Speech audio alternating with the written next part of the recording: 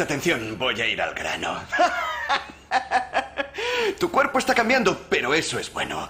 El problema es que cada vez que meneas el pepino, acabas con un montón de sustancia blanca no deseada, ¿no es cierto?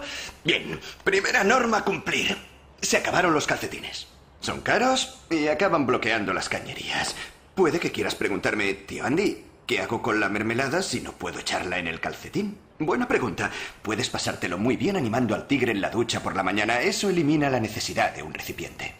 Pero el día es largo y masturbarse es divertido, así que a menos que te duches cuatro o cinco veces al día, necesitas otras opciones. Empecemos por lo más básico. Pañuelos de papel. Un sustituto perfecto del calcetín para esa sustancia cremosa, pero resultan secos y ásperos para esa piel tan suave y sensible, por no decir que se quedan pegados en la cabeza del miembro. Fuera. De ahí pasamos a recipientes más lubricados, como por ejemplo el plátano. Paso uno, pelas el plátano. Paso dos, pasas la piel por tu pito erecto.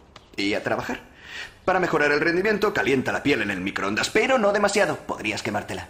También hay aceite de oliva, crema hidratante, miel, saliva, mantequilla, suavizantes para el cabello y vaselina. Todos sirven como lubricante, aunque el mejor lubricante es el lubricante. Así que ahorra dinero e invierte en lubricante. Bien, prosigamos. Cuando te la menees en el váter, afina la puntería. En la cama, coge una camiseta o una toallita de manos que no te importe tirar después de habértela meneado. No es cierto que sacarle brillo al cetro demasiado te deje sin fuerzas. Reduce el estrés y mejora la función inmunológica. Además, con la práctica se llega a la perfección, así que trabaja el control ahora que eres un solista y en el futuro podrás interpretar muchos duetos felices. Muy bien, se acabó la clase. Eh. Los deberes.